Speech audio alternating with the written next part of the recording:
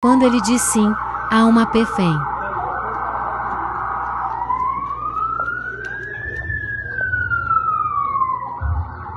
Atenção, senhora. Soldado Isadora. Atenção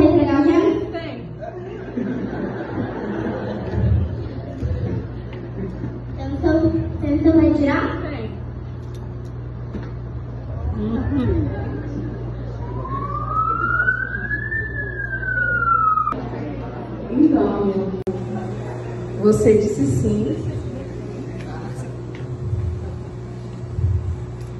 E temos muitas testemunhas aqui presentes. Então, a partir de agora, você tem o direito de permanecer calado. O que você disser e fizer poderá e vai ser usado contra você. Você não tem direito a um advogado.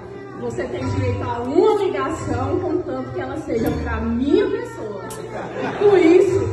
declaro preso perpetuamente em minha vida.